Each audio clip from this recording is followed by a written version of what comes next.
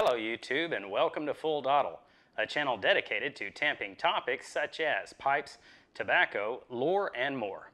I am your host, the Bearded Briarman, and without further ado, let's get lit.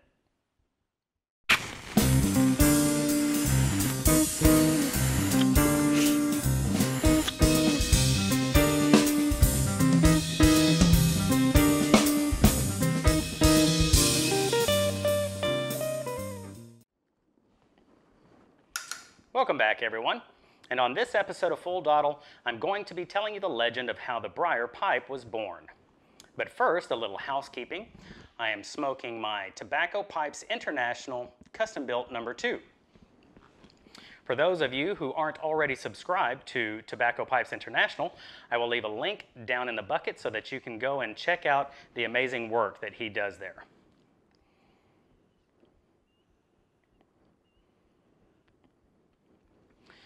So the discovery of briarwood as pipe material happened quite by accident.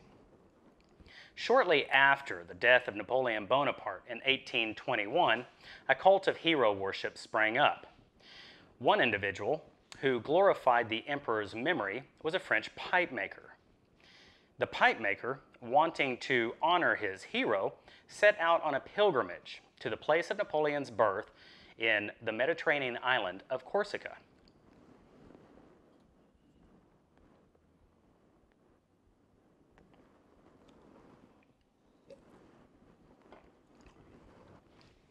Being a pipe smoker himself, the pipe maker took along his most beautiful meerschaum pipe.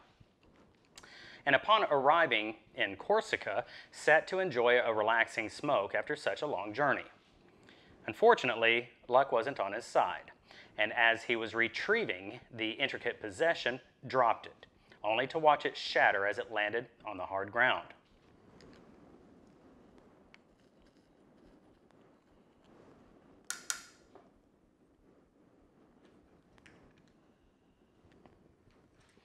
Desperate for a means to smoke his favorite tobacco, the pipe maker set about the village trying to find a replacement.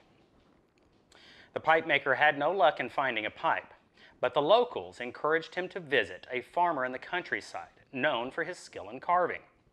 So the pipe maker quickly set out on his journey to find the farmer, and once he did, commissioned him to carve a suitable pipe from a wood hard enough to endure the burning tobacco.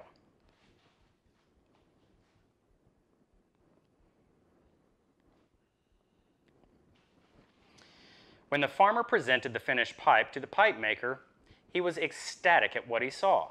It was an attractive hard wood with pale gold color and close grains. He was so impressed by it that he offered to buy the rest of the wood the farmer had, asking him, What type of wood is this? So the farmer explained it was made from the burl of the tree heath and sold him the rest of his stock.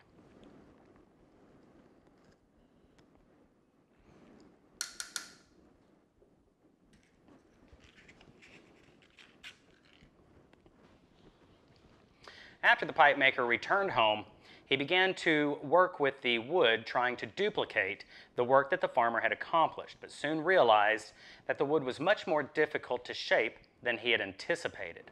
So, not wanting to waste the valuable wood, the pipe maker decided to take it to one of the factories where he bought his pipe stems.